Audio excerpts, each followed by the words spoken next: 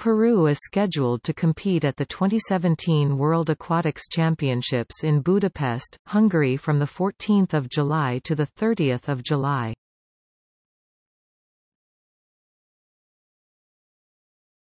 Topic. Open water swimming Peru has entered one open water swimmer.